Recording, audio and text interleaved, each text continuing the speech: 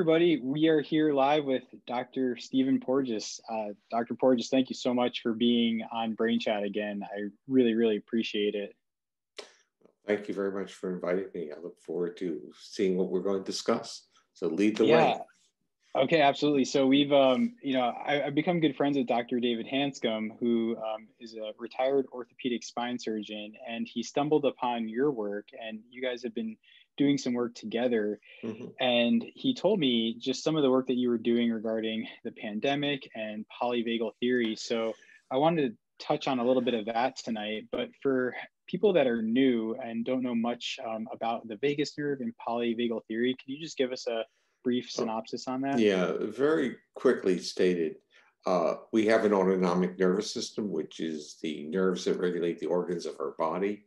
Uh, the nerves start off in our brain, so we're really talking about uh, brain-body connection. And this becomes very critical as we evolve from that because we've learned, I should say we've learned, we've been uh, uneducated over, over decades, perhaps centuries, to think that we have a nervous system of the brain and a nervous system of the body. But we really have one nervous, integrated nervous system that talks back and forth.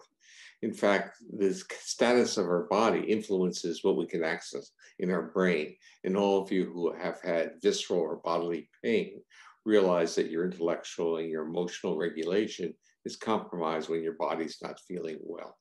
So polyvagal theory is all about the body and the autonomic nervous system, the nervous system of the viscera, and how that being in different states affects how we live our lives, how we feel, how we interact, how we process, you know, how we engage each other. And this system is basically a neural system that evolved as mammals evolved from more primitive vertebrates on a pathway or journey to sociality. So what that really means is mammals had to turn off their defenses to come close to each other, while other vertebrates had a very well developed system to detect threat. Mammals have that, but mammals have something else. They have a nervous system that detects safety and trust in others. And that downregulates all these defensive physiological states. And polyvagal theory talks about how different physiological states support different adaptive behaviors like behaviors of safety when we're safe, when we're in danger, or when we're in life threat. And it also provides an understanding of how therapies can work, how they can downregulate threat. So the discussion with uh, David Hanscom has all been about downregulating threat responses because he is very focused and interested in chronic pain. Being a spinal surgeon, that was his focus. And people were coming in for spinal surgery because of pain. And he basically realized that most surgeries fail, meaning they are, uh, in a sense, well done, they're executed, but they fail in removing pain. And then he found out through his own interactions that as he talked to his patients and interacted with them, they became pain free. And then he said, hey, try to figure this out. And then he landed on polyvagal theory. And polyvagal theory explains that you shift physiological states to downregulate defenses when you're in this way you feel safe with another and trust. So social interaction changes our physiological state.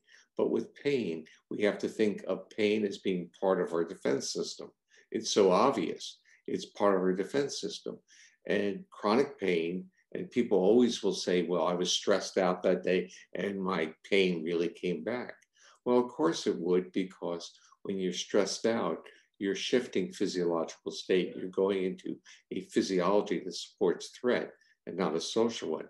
So you're losing the attributes of a new mammalian ventral vagal circuit that has this wonderful capacity to coordinate our more mobilized sympathetic nervous system and our very ancient dorsal vagal system that runs our gut.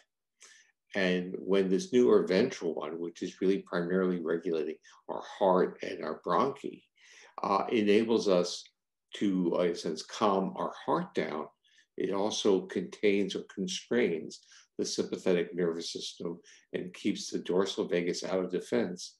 And that supports health growth and restoration.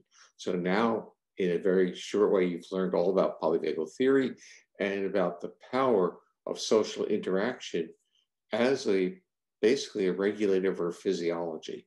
So no longer can people say it's all in your head, or they can think of social behavior as being oblique and unrelated to physiology. It's all one. Our nervous system as humans, our nervous system, even with our mammalian uh, relatives, it's all about co-regulation. Think of the baby. The baby is born. So and can't take care of themselves, as opposed to reptiles that hatch on their own, get out of the shell and scamper off to do whatever they're going to do. Humans need other humans. We are a connected species, and that connectedness is part of our biology. Yeah, when and when I stumbled upon polyvagal theory, I was working with patients um, that suffered from brain injuries, so concussions, traumatic brain injuries. And I realized uh, once I started implementing some of your work into the therapies, or what I thought I was implementing in, I started to realize that um, looking into the vagus nerve and vagal tone and trying to understand uh, the health of the vagus nerve is foundational in a lot of healing processes. Oh, yeah, but we want to be real careful. We don't want to give attributes to a nerve. A nerve is just Sorry. like a wire, it's connecting the brain to the object or the organs. And when you're saying we want to make sure that the vagus is doing its job, we really want to say that information from the brain is going to the organs and information from the organs is going back to the brain as part of a feedback system that supports what has classically been called homeostatic functions, supporting health, growth, and restoration. And when you're working with individuals with uh, traumatic brain injury, they have overlapping symptoms with PTSD. But part of it is they're chronically under threat because they don't know if they're going to recover. So we have to understand what medicine or medical practice does. It's really assessment. Most of what people go into medical facilities for is to get assessments. And what that really means is they're being evaluated. Now, think for a moment about evaluation and threat. So, going into a medical facility, getting this test or getting that test is putting the nervous system into a state of threat, which does not support health, growth, and restoration. So we have it as my as my friend David was. We have it backwards, and now he wants to use the word uh, disintegrate disintegrative medicine for what medicine is commonly practiced. But what he's saying, and it's very polyvagal informed now, is that uh, we have to feel safe in the environment to be accessible for and welcoming to any type of treatment, whether it's pharmaceutical, whether it's behavioral, and even whether it's surgical. In one of your papers, uh, you mentioned um, the saying "survival of the the fittest" mm-hmm. versus survival of the ones who were able to co-regulate and um, yeah. socially engage. Yeah, it's like we have something totally misunderstood. We talk about survival of the fittest as being physically stronger, dominating. We see this even in politics and in warfare. But the survival of mammals, if we go through evolution, and mammals evolve from ancient primitive, uh, they evolved from reptiles. And when they evolved, they were very small. They were functionally food for the reptiles, but they communicate with each other and they cooperated. So they can be the gentlest, but through cooperation, they can survive. And there's a very important message there, and that is to understand that mammals are connected species. So we as humans need to connect. Absolutely. Um, can you touch a little bit before we go into the pandemic um, and polyvagal theory? Can you just touch a little bit on the safe and sound protocol? Sure. Um, over the past couple of decades, I developed an acoustic intervention, which I viewed it almost like a stealth intervention. How do you deliver cues of safety to the nervous system without, uh, in a sense, uh, out the person being aware of it? Now, people who are good in social interactions are people that I call super co-regulators, meaning they change other people's physiology based on their presence. There are certain attributes they have. They talk with uh, intonation in their voice. They have gestures. Their face works. So people feel comfortable in their presence. Now, if we think about vocalizations and we think about a mother's uh, lullaby or a mother talking to her baby, and we can see a baby who is in a state of a tantrum or crying, suddenly just become relaxed and start smiling really rapidly when the mother uses her intonation of her voice. We can see fathers not doing so well with their kids, but very well with their dogs, using the prosodic voice with the dog. And suddenly the dog is like this, you know, safe and feeling good. So in my mind, I said, can I deliver an acoustic stimulus that the body can't refuse? Can I literally extract a, this, the distilled essence of trust from vocalizations and put it into a, uh, a protocol that people would just listen to.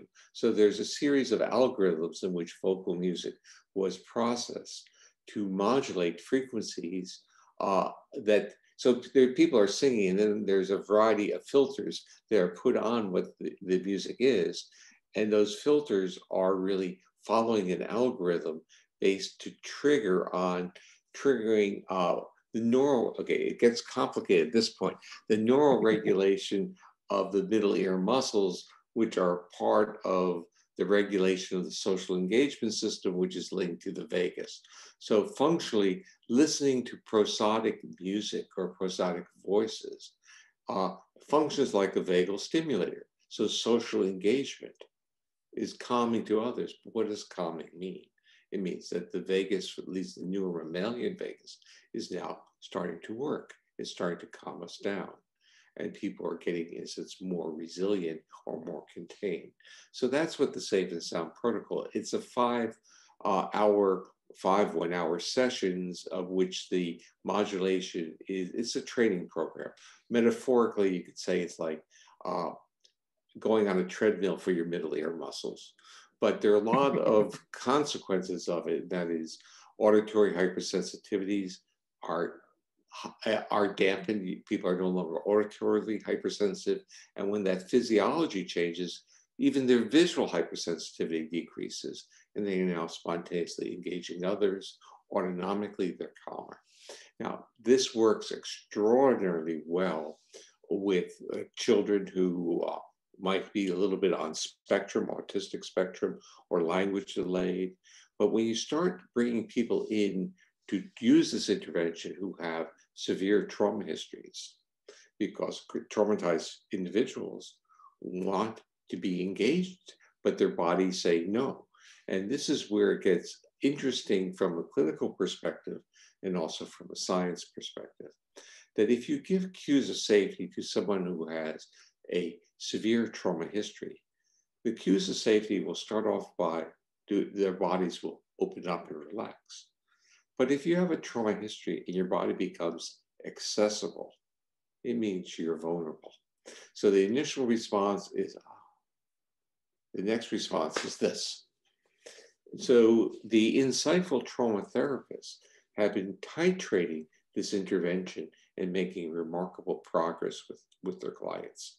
So if you have a trauma-informed, safe and sound protocol provider, they're, they're often trained in areas like somatic experiencing or EMDR or uh, internal family systems. And what they're using the safe and sound protocol to is to initially calm the body and then move on and then go back to it later.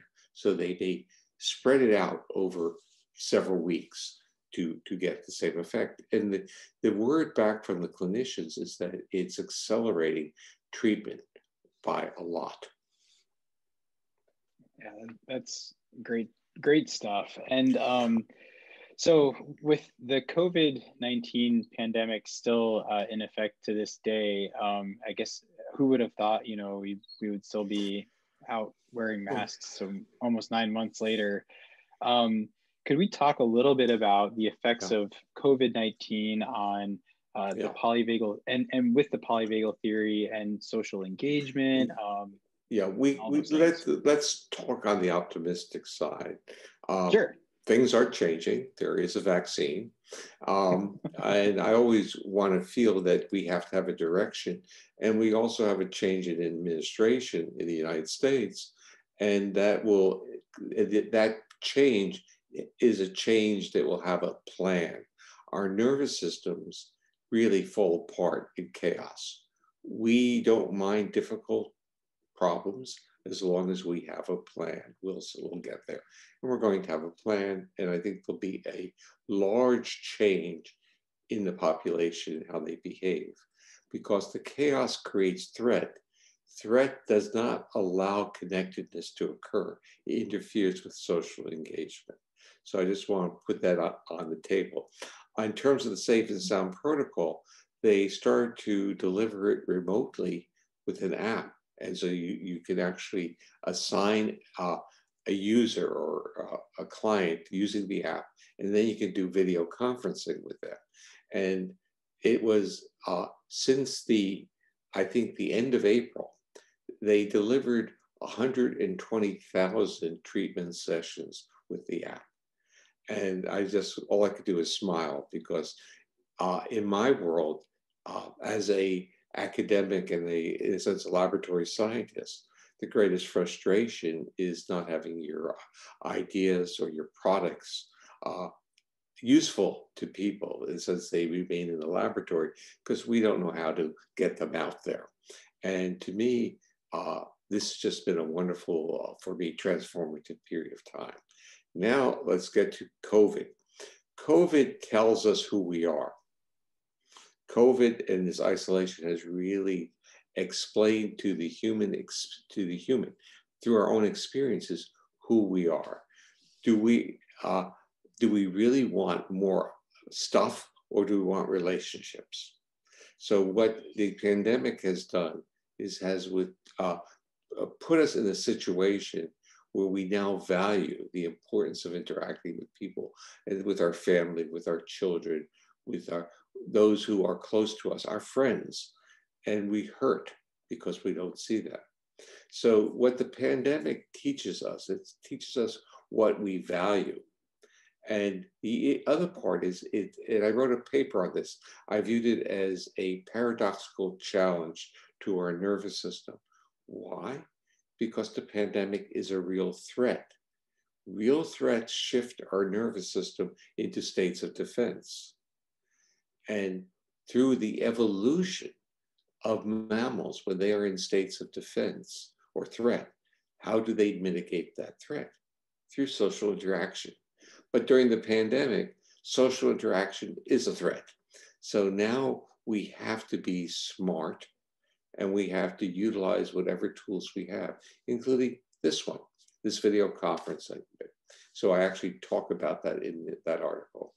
And uh, the, the, it's an interesting point because I and I and I talk about this frequently. The first thing I started to do while video conferencing during the pandemic was to wear glasses. I normally don't wear glasses. Well, why am I wearing glasses? I can see the upper parts of people's faces. I can see them more crisply, more clear, and so I'm actually more engaged. The other part that I've really learned is that it tends to be energetic to do uh, interaction, even doing through through video chatting, because you're still connecting with another. It's not the same as I, the metaphor I frequently use is having a cup of coffee at Starbucks or having a drink, where you just sit down and you talk, and time doesn't matter. You're just enjoying it. But it's really better than nothing, and uh, it keeps us connected with one another. And it's a, it's a reasonable, let's use the term placeholder.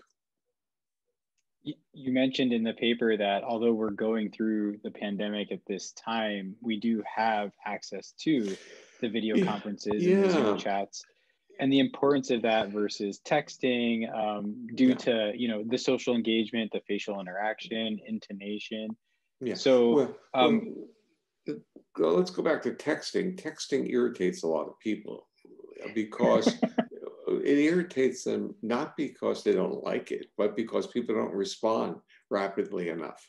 So we tend to, I used to ask the question uh, when I give workshops, how long can you wait before you really get irritated if you don't get a response to your text? And it's usually in, in the window of 20 minutes, people really can't take it. And it's really because they have engaged and our nervous system is requesting reciprocity, a reciprocal behavior. And that's getting violated. But we have it with the video, we have reciprocity. And, and that's important. I also talk about the fact that we have learned to use two dimensional screens as entertainment or education. And when they're normally on, we multitask. And now we have to stop that. So when I'm talking to you, I can't do this. I can't go to work like that because it will affect your nervous system. And in the real real world, before COVID, people would do that all the time. They would insult people by turning away and say, "Don't worry, I'm listening to you. I can hear what you're saying." That's not exactly true. I mean, we, we we're certainly the power of our intentionality in a social interaction is extremely important to the other because it shifts their physiology and we have to respect that. So I was going to say that my when I was a, a little boy, my uh, my father built our first television set. I'm, I'm, it gives you an estimate of how old I really am. He actually got it as a kit and put it together. And I'm this little boy, and he puts it together in the living room. And it's basically it's a chassis, metal chassis with tubes, and the antenna is sitting in the living room. And he's turned and we see these people moving around. And he says to me, he says, you know, people are going to develop some really bad habits. They're going to start talking while other people are talking. So the initial, of course, response was when the TV's on, no one talks. But what happens is that it's the same as a two-dimensional screen. When the, when the two-dimensional screen is on, you multitask. Now we have to we have to break that habit and literally squeeze this modality for what we can get out of it. Yeah, I mean that that's just great information, and um, I don't want to keep you too much longer, but for for some of our followers, uh, they're they're always looking for ways to increase their resilience.